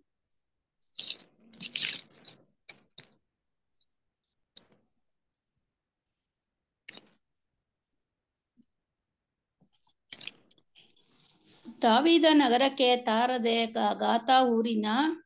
ಮಂಜೂಷವು ಒಬೇದೇದೋಮನ ಮನೆಯ ಬಳಿಯಲ್ಲಿ ಬಳಿಯಲ್ಲಿ ಸ್ವಂತ ಆಲಯದೊಳಗೆ ಮೂರು ತಿಂಗಳು ಇತ್ತು ಆ ಕಾಲದಲ್ಲಿ ಯೋಹವನು ಒಬೇದೋದೋಮನ ಮನೆ ಮನೆಯನ್ನು ಅವನಿಗಿದ್ದೆಲ್ಲವನ್ನು ಆಶೀರ್ವದಿಸಿದ್ದನು ಆ ನೋಡ್ರಿ ಈ ಒಂದು ಸಂಗತಿಯನ್ನ ದಾವಿದನ ಕಿವಿಗೆ ಬೀಳ್ತದೆ ಆವಾಗ ದಾವಿದನು ಎರಜಲೆಮಲ್ಲಿ ಏನು ತಪ್ಪಾಯಿತು ದಾವಿದನಿಂದ ಅಂತ ಹೇಳಿ ಅವನು ಮರುಪರಿಶೀಲನೆ ಮಾಡಕ್ಕೆ ಅವನು ಮುಂದೆ ಬರ್ತಾನೆ ದಾವಿದನು ಈಗ ಅಲ್ಲಿರುವ ಯಾಜಕರನ್ನ ಅಲ್ಲಿರುವ ಆ ಯಾಜಕರು ಮತ್ತೆ ಅಲ್ಲಿರುವಂತ ಪ್ರವಾದಿಗಳು ಇವನ್ನೆಲ್ಲ ಇಟ್ಟು ಏನ್ ಮಾಡ್ತಾನೆ ಅಂದ್ರೆ ಹಳೆ ದೇವರ ಒಂದು ಆ ಒಂದು ಲಾ ಇದೆಯಲ್ಲ ಆ ಒಂದು ದೇವರ ಲಾನ ಆ ಬರೆದಿರುವ ಕೃತಿಗಳನ್ನ ತಗೊಂಡು ಈ ಮಂಜುಷನ್ನ ಅಥವಾ ದೇವದರ್ಶನ ಕೂಡಾರದ ವಿಚಾರವಾಗಿ ಅವನು ಓದಕ್ಕೆ ಶುರು ಮಾಡಿ ಅವನು ಯಾವ ರೀತಿ ಅದನ್ನ ತರಬೇಕು ಅಂತ ವಚ ದೇವರು ಹೇಳಿದಾರೋ ಅದರ ಬಗ್ಗೆ ಆತನ ಗಮನವನ್ನ ಸೆಳಿತಾನೆ ಸೊ ಇಲ್ಲಿ ಏನಪ್ಪ ನಮ್ಮ ಪಾಠ ಅಂದ್ರೆ ನಮ್ಮ ಆಲೋಚನೆಗಳು ನಮ್ಮ ಒಂದು ಯೋಜನೆಗಳು ದೇವರ ದೇವರನ್ನ ಗೌರವಿಸುವ ವಿಷಯ ದೇವರಿಗೆ ಸಲ್ಲಿಸುವಂತ ಪೂಜಾ ಭಾವನೆ ಇದೆಲ್ಲ ನಮ್ಮ ಮನಸ್ಸಿಗೆ ಒಳ್ಳೆಯದಾಗಿ ಕಾಣ್ತದೆ ನಾನು ಇದು ಮಾಡೋದ್ರಿಂದ ದೇವರು ನನ್ನನ್ನು ಮೆಚ್ಚುತ್ತಾರೆ ಅಂತ ನನ್ನ ಮನಸ್ಸಲ್ಲಿರ್ತದೆ ಆದರೆ ದೇವರ ವಾಕ್ಯಕ್ಕೆ ಅನುಗುಣವಾಗಿ ನನ್ನ ಗೌರವ ಇದೆಯಾ ದೇವರ ಮಾತಿಗೆ ವಿಧೇಯನಾಗಿ ನಡೆದು ನಾನು ಗೌರವಿಸ್ತಾ ಇದ್ದೀನ ಅಥವಾ ಆಚೆ ತೋರುವಿಕೆಗೆ ನಾನು ದೇವರನ್ನ ಗೌರವಿಸ್ತಾ ಇದ್ದೀನ ಅಂತಾನೆ ಈ ದಿನದಲ್ಲಿ ನಾವು ಕೊಡುವಂತ ಪಾಠ ಅದರಿಂದ ಈ ಸತ್ಯಕ್ಕೆ ಬರಕ್ ಮುಂಚೆ ನಾವು ದೇವ್ರನ್ನ ಗೌರವಿಸ್ತಾ ಇದ್ದೀವಿ ಯೇಸು ಸ್ವಾಮಿನ ಗೌರವಿಸ್ತಾ ಇದ್ದೀವಿ ನಾನಾ ರೀತಿಯಲ್ಲಿ ಅವ್ರನ್ನ ಗೌರವಿಸ್ತಾ ಇದ್ದೀವಿ ಅದು ದೇವರ ಚಿತ್ತಕ್ಕೆ ಅನುಗುಣವಾಗಿ ಇಲ್ಲದೆ ಇದ್ರು ದೇವರು ಅದನ್ನ ಪರಿಶಿ ಅದನ್ನ ಅದನ್ನ ಅವರು ಅದನ್ನ ಅವರು ಜಾಸ್ತಿ ತುಂಬಾ ಇದಾಗಿ ತಗೊಂಡಿಲ್ಲ ನಮ್ಮನ್ನ ಪನಿಷ್ ಮಾಡೋ ರೀತಿಯಲ್ಲಿ ತಗೊಂಡಿಲ್ಲ ಆದರೆ ಈ ಸತ್ಯದ ಮಾರ್ಗಕ್ಕೆ ಬಂದ ನಂತರ ನಾನು ಗೌರವಿಸುವ ಗೌರವ ಕೊಡುವಂತ ವಿಷಯ ನಾನು ಪೂಜಿ ಪೂಜಿಸುವ ವಿಷಯ ಇದೆಲ್ಲಾನು ಸರಿಯಾದ ರೀತಿಯಲ್ಲಿ ಇದೆಯಾ ದೇವರ ವಾಕ್ಯಕ್ಕೆ ವಿಧೇಯನಾಗಿ ದೇವರ ವಾಕ್ಯಕ್ಕೆ ಅನುಗುಣವಾಗಿ ನನ್ನ ಜೀವನವನ್ನ ರಚಿಸಿಕೊಂಡು ಅದರ ನಂತರ ಅದರ ಮೂಲಕ ದೇವರನ್ನ ಗೌರವಿಸ್ತಾ ದಿನ ಅಂತ ನೋಡೋದಕ್ಕೆ ಈ ದಿನದ ಪಾಠ ತುಂಬಾ ಮುಖ್ಯವಾಗಿದೆ ಸಹೋದರ ಸಹೋದರರೇ ಅದರಿಂದ ಇಷ್ಟು ವರ್ಷ ಕಾಲ ನಾವು ಯಾವ ರೀತಿ ಇದ್ವಿ ಏನ್ ನೋಡ್ತಾ ಇದ್ವಿ ಯಾವ ಯಾವ ವಿಶ್ವಾಸದಲ್ಲಿದ್ವಿ ಯಾವ ನಂಬಿಕೆಯಲ್ಲಿ ಇದ್ವಿ ಅದನ್ನೆಲ್ಲ ತಂದೆಯ ದೇವರು ನಾವು ಪ್ರತಿಷ್ಠೆ ಮಾಡೋದಕ್ಕಿಂತ ಮುಂಚೆ ನಾವು ಏನೇ ಮಾಡಿದ್ರು ಅದನ್ನ ಅದನ್ನ ಗಮನಕ್ಕೆ ತಂದಿಲ್ಲ ಆದರೆ ಪ್ರತಿಷ್ಠೆ ಆದ ನಂತರ ನನ್ನ ಗೌರವವು ದೇವರ ಚಿತ್ತಕ್ಕೆ ಅನುಸಾರವಾಗಿದೆಯಾ ಅಥವಾ ನನ್ನ ಹೊಗಳಿಕೆ ನನ್ನ ಹೆಮ್ಮೆಯ ವಿಷಯ ನಾನು ನನ್ನ ಸಹೋದರ ಸಹೋದರದಲ್ಲಿ ಮಧ್ಯದಲ್ಲಿ ದೇವರನ್ನ ಅತಿ ಹೆಚ್ಚಾಗಿ ಪೂಜಿಸ್ತೀನಿ ಅಂತ ತೋರಿಸ್ಕೊಳ್ಳೋದಕ್ಕೋಸ್ಕರನ ಇದೆಲ್ಲ ನಾವು ಪರಿಶೀಲನೆ ಮಾಡುವಂತ ಒಂದು ವಿಷಯವಾಗಿದೆ ಸಹೋದರ ಸಹೋದರರೇ ಸೊ ಅದರಿಂದ ಈ ಒಂದು ಪಾಠ ನಮಗೆ ತುಂಬಾ ಬುದ್ಧಿವಾದ ಹೇಳುವಂತ ಪಾಠವಾಗಿದೆ ಆ ಒಂದು ವಿಷಯಗಳನ್ನ ನೋಡುವಾಗ ದಾವಿದನು ನೀವು ಅದನ್ನೆಲ್ಲ ಓದಿ ನೋಡುವಾಗ ಆ ಅಲ್ಲಿ ದಾವಿದನು ಆತನು ಮಾಡಿದ ತಪ್ಪನ್ನ ಅವನು ಅರ್ಥ ಮಾಡ್ಕೋತಾನೆ ಮತ್ತೆ ಆ ತಪ್ಪನ್ನ ಯಾವ ರೀತಿ ಅರ್ಥ ಮಾಡ್ಕೋತಾನೆ ಅಂದ್ರೆ ದೇವರ ಆಜ್ಞೆಗಳನ್ನ ಓದಿ ಅದರಲ್ಲಿ ಯಾವ ರೀತಿಯ ಮಂಜುಷನ್ನ ತರಬೇಕು ಅಂತ ಹೇಳಿ ಯಾಜಕರನ್ನ ರೆಡಿ ಮಾಡ್ತಾನೆ ಯಾಜಕರೇ ಆ ಮಂಜುಷನ್ನ ಮುಟ್ಟಕ್ಕಾಗೋದು ಯಾಜಕರೇ ಆ ಮಂಜುಷನ್ನ ಅವರ ಭುಜದ ಮೇಲೆ ಇಟ್ಟು ಕೋಲುಗಳ ಮೂಲಕ ಅದನ್ನ ತರಬೇಕು ಅದಕ್ಕೆ ಬೇಕಾಗಿರುವಂತ ಸ್ಯಾಕ್ರಿಫೈಸ್ ಮಾಡಬೇಕು ಆ ಮಂಜುಷನ್ನ ಏನ್ರಿ ಒಂದು ಬ್ಲೂ ಕಲರ್ ಬಟ್ಟೆಯಲ್ಲಿ ಮುಚ್ಚಬೇಕು ಇದೆಲ್ಲಾನು ಅವನು ಸರಿಯಾದ ರೀತಿಯಲ್ಲಿ ಅರ್ಥ ಮಾಡಿಕೊಂಡು ಅದನ್ನ ತರಕ್ಕೆ ಅವನು ಸಿದ್ಧತೆಯಾಗಿ ಆ ಮಂಜುಷನ್ನ ತಂದಿರೋ ವಿಷಯಗಳನ್ನ ನಾವು ನೋಡ್ತೀವಿ ಸಹೋದರ ಸಹೋದರರೇ ಈ ಒಂದು ವಿಷಯವನ್ನ ನಾವು ಎಲ್ಲಿ ಓದ್ತೀವಿ ಅಂದ್ರೆ ಒಂದು ಪೂರ್ವತಾಂತ್ರ ಹದಿನೈದನೇ ಅಧ್ಯಾಯ ಒಂದು ಎರಡು ವಚನಗಳನ್ನ ಓದೋಣ ಸಿಸ್ಟರ್ ಒಂದು ಪೂರ್ವತ್ತಾಂತ್ರ ಹದಿನೈದನೇ ಅಧ್ಯಾಯ ಒಂದು ಎರಡು ವಚನಗಳು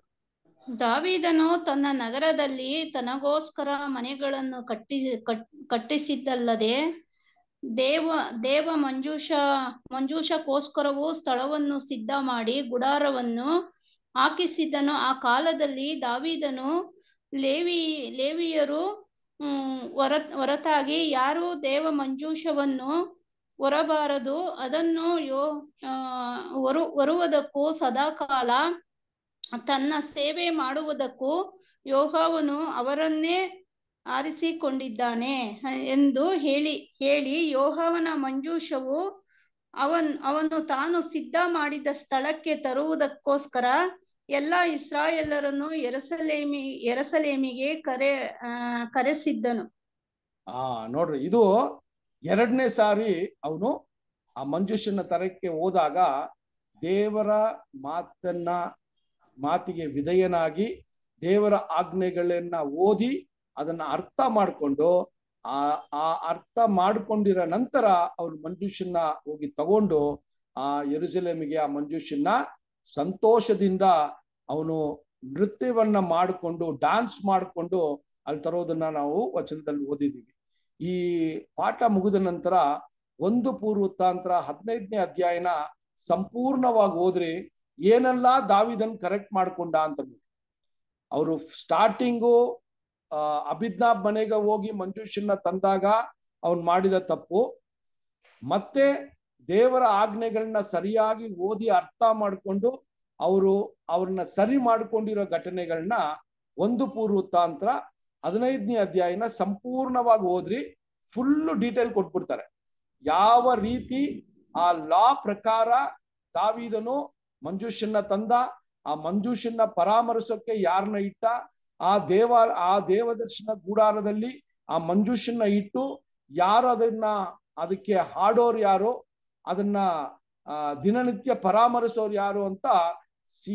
ಒಳ್ಳೆ ಏನ್ರಿ ಸಂಪೂರ್ಣವಾದ ಮಾಹಿತಿಯನ್ನ ಕೊಟ್ಟು ಆ ದೇವರ ಒಂದು ಆಜ್ಞೆಯ ಪ್ರಕಾರವಾಗಿ ಆ ದೇವದರ್ಶನ ಕೂಡಾರದಲ್ಲಿ ಆ ಮಂಜೂಷನ್ನ ಸೇವಿಸ್ದ ಅಂತ ನೋಡ್ತೀವಿ ಅದೇ ಒಂದು ಪೂರ್ವತಾಂತ್ರ ಹದಿನೈದನೇ ಅಧ್ಯಾಯ ಇಪ್ಪತ್ತೆಂಟನೇ ವಚನ ಓದನ ಒಂದು ಪೂರ್ವತಾಂತ್ರ ಹದಿನೈದನೇ ಅಧ್ಯಾಯ ಇಪ್ಪತ್ತೆಂಟನೇ ವಚನ ನಾರಿನ ಎತ್ತಿಕೊಂಡಿದ್ದನು ಹೀಗೆ ಎಲ್ಲಾ ಇಸ್ರೇಲರು ಆರ್ಭಟಿಸುತ್ತಾ ಕೊಂಬು ತುತುರಿಗಳನ್ನು ಗಟ್ಟಿಯಾಗಿ ಊದುತ್ತಾ ತಾಳ ಒಡೆಯುತ್ತ ಕಿನ್ನರಿ ಸ್ವರ ಮಂಡಲಗಳನ್ನು ಬಾರಿಸುತ್ತಾ ಯಹೋನ ನಿಬಂಧನ ಮಂಜೂಷವನ್ನು ತಂದರು ಆ ನೋಡು ಇಲ್ಲಿ ಆ ಒಂದು ಆ ಘಟನೆಯಲ್ಲಿ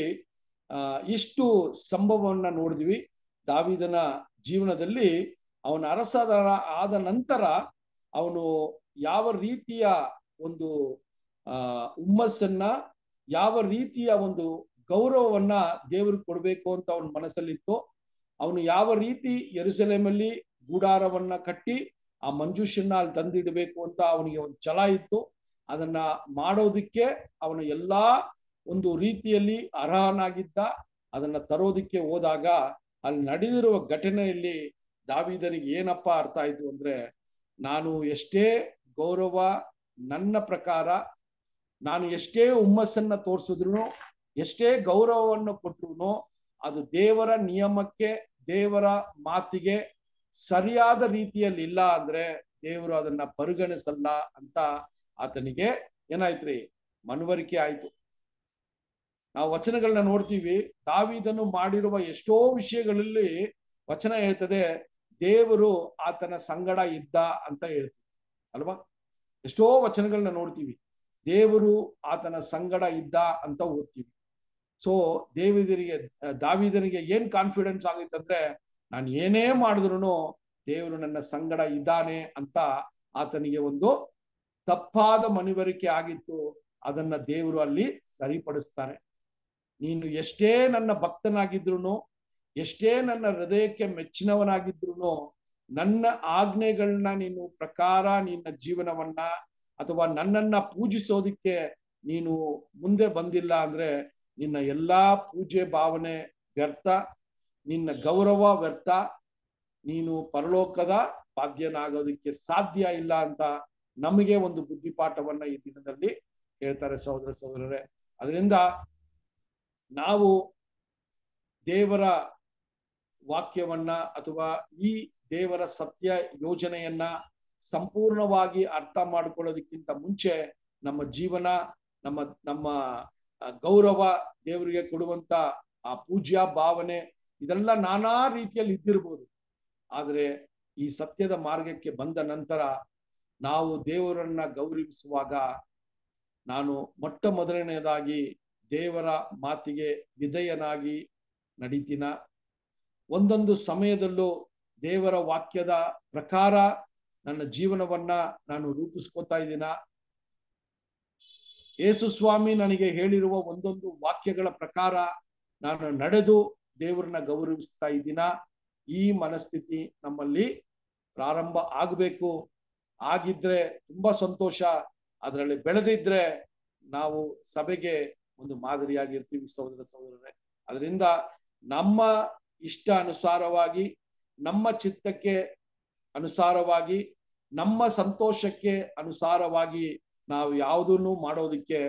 ದೇವರು ನಮ್ಮಲ್ಲಿ ಕೇಳಿಲ್ಲ ದೇವರ ಮಾತಿನ ಪ್ರಕಾರ ನಡ್ಕೊಂಡು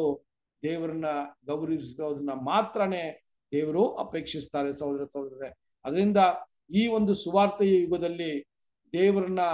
ಸಂಪೂರ್ಣವಾಗಿ ಅರ್ಥ ಮಾಡ್ಕೊಳ್ಳೋದಕ್ಕೆ ದೇವರು ಒಂದು ಅವಕಾಶವನ್ನ ನಮಗೆ ಕೊಟ್ಟಿದ್ದಾರೆ ಆ ಸಂಪೂರ್ಣತೆಯಲ್ಲಿ ಸಹೋದರ ಸಹೋದರರೇ ನಾವು ಒಂದೊಂದು ಸಮಯದಲ್ಲೂ ನಾವು ಈ ಸತ್ಯದ ಬೆಳಕಲ್ಲಿ ಬಂದಿರೋ ನಾವು ದೇವರ ಆಜ್ಞೆಗಳನ್ನ ನಮ್ಮ ಹೃದಯದಲ್ಲಿ ನಾವು ಬರೆದಿಟ್ಟು ನಾವು ಆ ಹೃದಯದಲ್ಲಿ ಬರೆದಿರುವ ದೇವರ ವಾಕ್ಯದ ಪ್ರಕಾರ ನಮ್ಮ ಜೀವನವನ್ನ ನಾವು ಪುನರ್ ರೂಪಿಸಿಕೊಂಡ್ರೆ ದೇವರಿಗೆ ನಾವು ಕೊಡುವಂತ ಗೌರವ ದೇವರಿಗೆ ಮೆಚ್ಚುಗೆ ಆಗಿರ್ತದೆ ದೇವರು ಅದನ್ನ ಏನ್ ಮಾಡ್ತಾರೆ ಸ್ವೀಕಾರ ಮಾಡ್ತಾರೆ ಸಹೋದರ ಸಹೋದರರೇ ಅದರಿಂದ ಈ ವಿಷಯಗಳನ್ನ ನೋಡುವಾಗ ಒಂದೊಂದು ಸಮಯಗಳಲ್ಲೂ ಸಹೋದರ ಸಹೋದರರೇ ದೇವರ ವಾಕ್ಯಗಳು ನಮಗೆ ಕೊಡಲ್ಪಟ್ಟಿದೆ ಏನೋ ಹಂಗೆ ಬೈ ಚಾನ್ಸ್ ನನಗೆ ಈ ಸತ್ಯ ಸಿಕ್ಬಿಡ್ತು ಏನೋ ಎಲ್ರು ಹೋಗ್ತಾ ಇದ್ದಾರೆ ನಾನು ಅವ್ರ ಜೊತೆ ಹೋಗ್ತಾ ಇದ್ದೀನಿ ಏನೋ ಒಳ್ಳೆ ಸತ್ಯ ಅಂತಾರೆ ಅದನ್ನ ಕೇಳ್ತಾ ಇದ್ದೀನಿ ಅಂತ ಹೇಳಿ ಈ ರೀತಿಯ ಮನಸ್ಥಿತಿಯಲ್ಲಿ ದೇವರನ್ನ ಗೌರವಿಸೋ ನಾವು ಹೋದ್ರೆ ಅದು ದೇವರಿಗೆ ಮೆಚ್ಚುಗೆ ಆಗಲ್ಲ ನಾವು ಕೇಳಿರುವ ಒಂದೊಂದು ಸತ್ಯವನ್ನ ಮತ್ತೆ ನಾವು ಪರಿಶೀಲನೆ ಮಾಡಿ ಆ ಸತ್ಯವನ್ನ ನಮ್ಮ ಹೃದಯದಲ್ಲಿ ನಮದಂತ ನಾವು ಅದನ್ನ ಭಾವಿಸಿ ದೇವರ ಒಂದು ಆ ದೇವರು ಕೊಟ್ಟಿರುವಂತ ವಾಗ್ದಾನಗಳು ನಮದು ಅಂತ ಹೇಳಿ ನಾವು ಸ್ವೀಕಾರ ಮಾಡಿ ಆ ವಾಗ್ದಾನಕ್ಕೆ ಅನುದ ಅನು ಅನು ಏನ್ರಿ ಆ ವಾಗ್ದಾನಕ್ಕೆ ನಾವು ತಕ್ಕನಂಗೆ ನಡೆದು ಆ ವಾಗ್ದಾನಗಳು ನಮಗೆ ಕೊಡಲ್ಪಟ್ಟಿದೆ ಆ ವಾಗ್ದಾನಗಳು ನಮ್ಮಲ್ಲಿ ನೆರವೇರಬೇಕಾದ್ರೆ ನಾವು ದೇವರಿಗೆ ವಿಧೇಯರಾಗಿ ನಡಿಬೇಕು ದೇವರ ಮತ್ತು ಯೇಸು ಸ್ವಾಮಿಯ ಒಂದೊಂದು ಮಾತುಗಳು ಆ ನೂತನ ಸೃಷ್ಟಿಗೆ ಬೆಳೆದು ಆ ನೂತನ ಸೃಷ್ಟಿ ಒಂದು ದಿನ ಒಂದು ಹೊಸ ರೂಪವನ್ನ ತಂದೆಯ ದೇವರು ಕೊಡ್ತಾರೆ ಅದಕ್ಕೆ ನಮ್ಮ ಸಿದ್ಧತೆಗಳು ಇರಬೇಕು ಸಹೋದರ ಸಹೋದರರೇ ಅದರಿಂದ ಈ ದಿನದಲ್ಲೂ ಆ ಒಂದು ಗೌರವಿಸುವ ವಿಷಯ ಪೂಜಾ ಭಾವನೆ ಯಾವ ರೀತಿ ನಮ್ಮಲ್ಲಿತ್ತು ಅಂತ ನೋಡ್ತೀವಿ ಈಗ ಯಾವ ರೀತಿ ಇದೆ ಅಂತ ನೋಡ್ತೀವಿ ಸೊ ಅದರಿಂದ ಬೆಳಗ್ಗೆಯಿಂದ ಸಾಯಂಕಾಲ ತನಕ ನಾವು ನಮ್ಮ ಲೋಕದ ವಿಚಾರಗಳಲ್ಲಿ ನಮಗೆ ಊಟ ಬಟ್ಟೆ ಮತ್ತೆ ನಮಗೆ ವಸತಿ ತಂದೆಯ ದೇವರು ಒದಗಿಸ್ಕೊಟ್ರು ಅದಕ್ಕೆ ಬೇಕಾಗಿರುವಂತ ಪ್ರಯಾಸಗಳನ್ನ ಮಾಡಿ ಬೆಳಗ್ಗೆಯಿಂದ ಸಾಯಂಕಾಲ ತನಕ ಆ ಜೀವನವನ್ನು ನಡೆಸುತ್ತೀವಿ ಆ ಜೀವನದಲ್ಲೂ ನಾವು ಎಷ್ಟು ಪ್ರಾಮಾಣಿಕವಾಗಿದ್ದೀವಿ ಎಷ್ಟು ನೀತಿವಂತನಾಗಿದ್ದೀನಿ ಸಂಕಷ್ಟಗಳು ಬಂದಾಗ ದೇವರ ಮಾತನ್ನ ಬಿಟ್ಟು ನಾನು ಈ ಲೋಕದ ಆತ್ಮದಲ್ಲಿ ನಿರ್ಧಾರ ತಗೋತೀನ ಇದೆಲ್ಲ ನಾನು ಕುಲಂಕುಷವಾಗಿ ನೋಡದೆ ನಾನು ದೇವರನ್ನ ಗೌರವಿಸ್ತೀನಿ ಅಂತೇಳಿ ನಾನಾ ಪ್ರಯತ್ನಗಳನ್ನ ಪಟ್ರು ಆ ಗೌರವವನ್ನ ತಂದೆಯ ದೇವರು ಸ್ವೀಕಾರ ಮಾಡಲ್ಲ ಅದರಿಂದ ಈ ದಿನದಲ್ಲಿ ಭಯಭಕ್ತಿಯಿಂದ ನಡುಕದಿಂದ ನಮ್ಮ ರಕ್ಷಣೆಯ ಬಗ್ಗೆ ನಾವು ಯೋಚನೆ ಮಾಡೋಣ ಯಾಕೆ ಆದ್ರೆ ಸಹೋದರ ಸಹೋದರರೇ ಈ ಒಂದು ಆ ನ್ಯಾಯ ಸಿಂಹಾಸನದ ಮುಂದೆ ನಿಂತಿದ್ದೀವಿ ದೇವರು ನಮಗೆ ನ್ಯಾಯ ತೀರ್ಪು ಕೊಡ್ತಾ ಇದ್ದಾರೆ ನಮ್ಮ ಒಂದೊಂದು ದಿನಾನು ನಾವು ದೇವರಿಗೆ ಮುಂದೆ ನಾವು ಯಾವುದು ಮಾ ಸರಿಯಾಗಿ ಮಾಡ್ತಾ ಇದ್ದೀವಿ ಯಾವುದು ತಪ್ಪು ಅಂತ ಹೇಳಿ ದೇವರು ನಮಗೆ ತಿಳಿಸ್ತಾ ಇದ್ದಾರೆ ತಂದೆಯ ದೇವರು ನಮ್ಮನ್ನ ಒಂದೊಂದು ದಿನಾನು ಶಿಕ್ಷಿಸಿ ನಮ್ಮನ್ನ ಸರಿಪಡಿಸಕ್ಕೆ ಪ್ರಯತ್ನ ಮಾಡ್ತಾ ಇದ್ದಾರೆ ಆದ್ರೆ ನಾವು ಇಸ್ರೇಲ್ ಜನಾಂಗದ ತರ ಯಾವುದೇ ರೀತಿಯ ಪ್ರತಿಕ್ರಿಯೆ ಇಲ್ಲದೆ ನಮ್ಮ ಜೀವನವನ್ನ ಲೋಕದ ಆತ್ಮದಲ್ಲಿ ನಾವು ನಡೆಸ್ತಾ ಇದ್ರೆ ದೇವರು ಮೆಚ್ಚಲ್ಲ ಸಹೋದರ ಸಹೋದರರೇ ಅದರಿಂದ ಈ ದಿನದಲ್ಲಿ ನಮಗೆ ದೇವರು ಕೊಟ್ಟಿರುವಂತ ಈ ಪಾಠದಲ್ಲಿ ನಾವು ತುಂಬಾ ಗಮನವನ್ನ ಕೊಟ್ಟು ಈ ಪಾಠ ಆದ ನಂತರನೂ ವಚನಗಳನ್ನ ಓದೋಣ ನಾವು ಕೊಟ್ಟಿರೋ ವಚನಗಳನ್ನ ಎಲ್ಲ ದಯವಿಟ್ಟು ಓದಿ ವಿಶೇಷವಾಗಿ ಮುಖ್ಯವಾಗಿ ಒಂದು ಪೂರ್ವತಾಂತ್ರ ಹದಿನೈದನೇ ಅಧ್ಯಾಯನ ಸಂಪೂರ್ಣವಾಗಿ ಓದಿದ್ರೆ ದಾವಿದನು ಯಾವ ರೀತಿ ದೇವರು ಹೇಳಿರುವ ಆಜ್ಞೆಗಳನ್ನ ಓದಿ ಅವನು ತಿದ್ದುಪಡೆ ಪಡ್ ತಿದ್ದುಪಡಿ ಮಾಡಿಕೊಂಡು ಆ ಮಂಜೂಷನ್ನ ತಂದ ಅಂತ ನಮಗೆ ಒಂದು ಉತ್ತರ ಸಿಗತ್ತೆ ಅದಕ್ಕೆ ನಾವು ಎಷ್ಟೋ ಸರಿ ಯಾಕೆ ದೇವರು ಊಜಾ ಅನ್ನುವ ಒಂದು ಒಳ್ಳೆಯ ವ್ಯಕ್ತಿಯನ್ನ ಸಾಯಿಸಿದ್ರು ಅಂತ ನಮಗೆ ಪ್ರಶ್ನೆ ಯಾವಾಗ್ಲೂ ಇರ್ತದೆ ಅಲ್ವಾ ಆದ್ರೆ ಆ ಅರಸನು ಮಾಡಿದ ತಪ್ಪಿಗೆ ಆ ಪ್ರಜೆ ಸತ್ತಿದ್ದನ್ನ ನೋಡ್ತೀವಿ ಅರಸನು ಸರಿಯಾದ ರೀತಿಯಲ್ಲಿ ಅವನಿಗೆ ಮನವರಿಕೆ ಅವನಿಗೆ ಆ ಸಲಹೆಯನ್ನ ಕೊಟ್ಟಿದ್ರೆ ಆ ಪ್ರಜೆ ಸಾಯಕ್ಕೆ ಸಾಧ್ಯ ಇಲ್ಲ ಸೊ ಅದರಿಂದ ಊಜನು ಸತ್ತಿರೋ ಕಾರಣ ಏನು ಅಂತ ಇವತ್ತು ನಮಗೆ ಈ ಪಾಠದಲ್ಲಿ ಸ್ವಲ್ಪ ನಮ್ಗೇನಾಯ್ತು ರೀ ನಮಗೆ ಒಂದು ನಾಲೆಜ್ ಬಂತು ಅಲ್ವಾ ಸೊ ದಾವಿದನು ಮಾಡಿದ ತಪ್ಪಿಗೆ ಊಜನನ್ನ ಸಂಧ್ಯಾ ತಂದೆಯ ದೇವರು ಅಲ್ಲಿ ಸಾಯಿಸಿದ್ರು ಅದರಿಂದ ನಮ್ಮ ಜೀವನದಲ್ಲೂ ನಾವು ಸಭೆಯ ಒಂದೊಂದು ದೇವರ ಒಂದು ಸಭೆಯ ಮಕ್ಕಳಾಗಿ ನಡೀತಾ ಇರುವಾಗ ನಾವು ಗೌರವಿಸುವ ವಿಷಯದಲ್ಲಿ ಯಾವ ರೀತಿ ನಾವು ಭಯಭಕ್ತಿಯಿಂದ ದೇವರಿಗೆ ಗೌರವವನ್ನ ಕೊಡ್ತಾ ಇದ್ದೀವಿ ಸೊ ಅದರಿಂದ ಗೌರವವನ್ನು ಕೊಡೋದು ಮೇಲ್ನೋಟಕ್ಕೆ ನಾವು ಮಾಡುವಂತ ಕೆಲಸಗಳಲ್ಲ ಒಳಾಂಗಣದಲ್ಲಿ ನಮ್ಮ ಹೃದಯದಲ್ಲಿ ದೇವರ ಸಿಂಹಾಸನವನ್ನ ಕೊಟ್ಟು ದೇವರು ನಮ್ಮಲ್ಲಿಗೆ ವಾಸವಾಗುವ ಒಂದು ಪರಿಸ್ಥಿತಿನ ನಾವು ನಿರ್ಮಾಣ ಮಾಡಿದ್ರೆ ದೇವರಿಗೆ ನಾವು ಕೊಡುವಂತ ಗೌರವವನ್ನ ನಾವು ಕೊಡ್ತಾ ಇದ್ದೀವಿ ಅಂತ ನಾವು ಸಂತೋಷದಿಂದ ಹೇಳ್ಬೋದು ಸಹೋದರ ಸಹೋದರರೇ ಅದರಿಂದ ಬರುವಂತ ದಿನಗಳಲ್ಲಿ ನಾವು ಈ ಗೌರವಿಸುವ ವಿಷಯ ನಾವು ದೇವರ ವಿಧೇಯರಾಗಿ ಇರುವಂತ ವಿಷಯ ದೇವರ ಆಜ್ಞೆಗಳಿಗೆ ಪ್ರಕಾರ ನಡೆಯುವಂತ ವಿಷಯಗಳ ಮೇಲೆ ಗಮನ ಕೊಟ್ಟು ನಾವು ದೇವರು ನಮ್ಮನ್ನ ನಡೆಸ್ಲಿ ಅಂತೇಳಿ ಅದಕ್ಕೆ ಬೇಕಾಗಿದೆ ಅಂತ ಶಕ್ತಿ ಬಲವನ್ನ ದೇವರು ಕೊಡ್ಲಿ ಅಂತ ಈ ದಿನದಲ್ಲಿ ಪ್ರಾರ್ಥಿಸಿ ಈ ಒಂದು ವಾಕ್ಯಗಳನ್ನ ಮುಗಿಸ್ಕೊಡೋಣ ಸೊ ಮತ್ತೆ ನೀವು ಇದನ್ನ ಮೆಲುಕಾಕಿ ನೀವು ಈ ಪಾಠ ಆದ ನಂತರ ನಿಮಗೆ ಬಿಡುವಿರುವ ಸಮಯದಲ್ಲಿ ವಚನಗಳನ್ನ ಓದ್ಕೊಳ್ಳಿ ಸೊ ದಾವಿದನ ಜೀವನ ಚರಿತ್ರೆ ಓದುವಾಗ ದೇವರು ದಾವಿದನ ಮೂಲಕ ನಮಗೆ ಅನೇಕ ವಾಕ್ಯಗಳನ್ನ ಬುದ್ಧಿಪಾಠವಾಗಿ ಕೊಡ್ತಾ ಇದ್ದಾರೆ ಅದನ್ನು ನಮ್ಮ ಗಮನಕ್ಕೆ ತರೋಣ ಇಸ್ರೇಲ್ ಜನಾಂಗ ತರ ನಾವು ಕಠಿಣ ಮನಸ್ಸುಳ್ಳವರಾಗಿ ಇಲ್ಲದೆ ನಾವು ದೇವರ ವಾಕ್ಯಕ್ಕೆ ಅನುಗುಣವಾಗಿ ನಡ್ಕೊಳ್ಳೋದಕ್ಕೆ ನಾವು ಪ್ರಯತ್ನ ಮಾಡಿ ನಡೆಯೋಣ ಸಹೋದರ ಸಹೋದರರೇ ದೇವರು ಈ ವಾಕ್ಯಗಳನ್ನ ಆಶೀರ್ವದಿಸ್ಲಿ ಈ ದಿನದಲ್ಲೂ ನಾವೊಂದು ಪ್ರಾರ್ಥನೆಯ ಮೂಲಕ ಈ ಒಂದು ಪಾಠವನ್ನ ಮುಗಿಸೋಣ ಆ ಬಸವರಾಜ್ ಬ್ರದರ್ ಪ್ರಾರ್ಥನೆ ಮಾಡ್ತೀರಾ thank you brother thank you brother Basavaraj brother ಪ್ರಾರ್ಥನೆ ಮಾಡ್ತಾರಾ ಹಾ ಮಾಡ್ತಾರೆ ಹಾ ಮಾಡಿ brother Basavaraj brother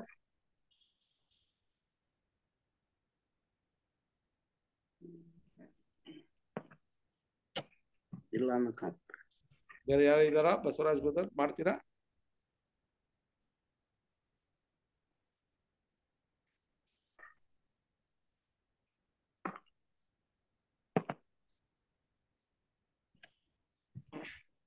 Basavaraj brother ಇಲ್ವಾ ಸರಿ ಓಕೆ ಬ್ರದರ್ ನೀವೇ ಮಾಡ್ಬಿಡಿ ಎಲ್ಲಪ್ಪ ಬ್ರದರ್ ಬೇರೆ ಯಾರು ಬ್ರದರ್ ಹೆಸರು ಇಲ್ಲ ಅದರಿಂದ ದಯವಿಟ್ಟು ಕ್ಷಮಿಸ್ಬಿಡಿ